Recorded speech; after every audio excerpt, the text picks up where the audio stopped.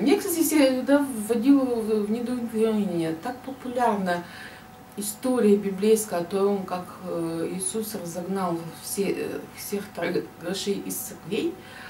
Но, тем не менее, вы не найдете ни одной церкви, в которой не было бы ларька со всякими там ну, иконами, свечками и так далее.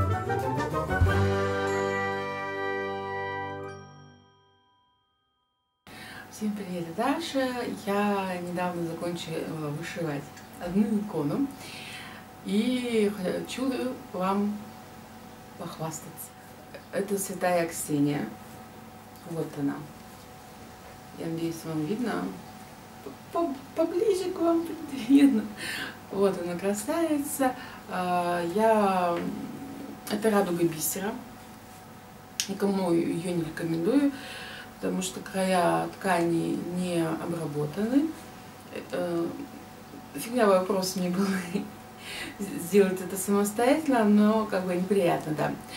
Э, совершенно отвратительного качества пакетики с бисером. То есть обычно пакетики, они с таким мягким дном. А тут они с обоих сторон были такими сплющенными, плоскими. И они совершенно неустойчивые, и им невозможно было пользоваться. Поэтому мне пришлось соорудить из пакета молока а, специальную коробочку. Не бог весь что, выглядит она вот так. А, то есть э, я сюда клала пакетик, он опирался о заднюю стенку, и таким образом было более-менее устойчивое положение, он не падал, не заваливался на бок, и вот так в ряд они у меня тут и стояли эти пакетики с бисером. Значит, вышивала я с 20 февраля по 20 июня, то есть ровно 4 месяца. Если я еще, конечно, не разучилась читать. И вышла такая очень неприятная ситуация. Дело в том, что я очень хотела засветить и Святую Ксению, и икону Святого Пантелеймона, а, но ну, я знаю, что чтобы это сделать, нужно перед вышивкой попросить у батюшки благословений, исповедоваться, э, чтобы у иконы не было, не было вышито, не было вышито э, лицо, а было, ну вот как вы видите, здесь оно уже было. То есть я вышивала бисером только все остальное.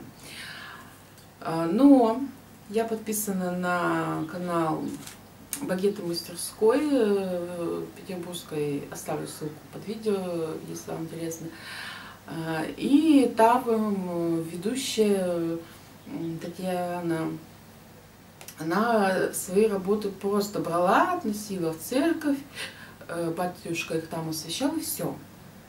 Я думаю, ну, я тоже так хочу. А, ну, потому что я не постилась, благословения не спрашивала, я просто вышивала.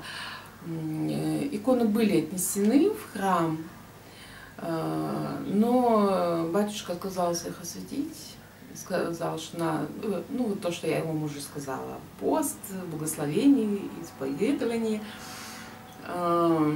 Хочу обматерить, кстати, киоскершу, которая там сидит. Мне, кстати, всегда вводило в недоумение. Так популярно история библейская о том, как э, Иисус разогнал все, э, всех торгашей из церквей, но, тем не менее, вы не найдете ни одной церкви, в которой не было бы ларька со всякими там ну, иконами, свечками и так далее. Мама у меня в этом храме хотела провести икону. А, и у нее э, ни с того ни с сего продавщица спрашивает, вы вообще какой день? Э, спрашивает, а вы типа исповедовались? Так говорит, ну как бы нет. Э, так говорит, вот умирать скоро. Че вообще за нафиг вот, вот это сейчас было? Я прям, мне мама рассказала, э, я села просто с таким лицом, как бы, что вообще происходит? Короче, хватит возмущаться.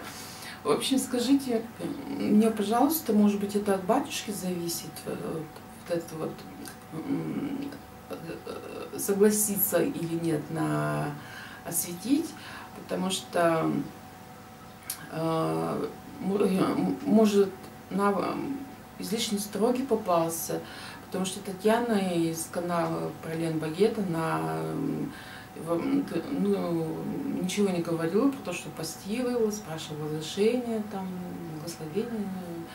То есть может нам стоит обратиться в другую церковь, имеет смысл?